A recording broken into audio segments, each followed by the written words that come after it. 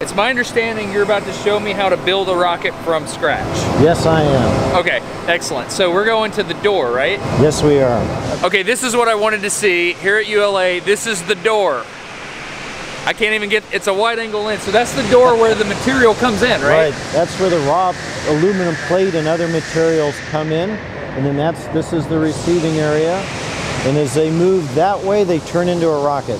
So we're about to build a rocket by going that way in the plant. Exactly. Okay, I'm, I'm game. Let's do this. All right, let's do it. Yeah, and this is an active manufacturing facility, so you're just going to have to deal with the audio. There's a lot of tools going on out here. Yeah, sorry about that. But Yeah. you know, building rockets. It's good. Oh wow, that is that is really. Can I go touch that? Yeah, yeah, absolutely. This is a very very expensive piece. That's is that aluminum or stainless? That's aluminum. aluminum. Yeah. And is that fabricated here locally? That's no, no, we buy yeah, so we buy that from a supplier. okay. And then it's shipped here, comes in through the big door, if you will, and then we machine it down. We're going to remove oh more than two thirds of the material while retaining about 90% of the strength.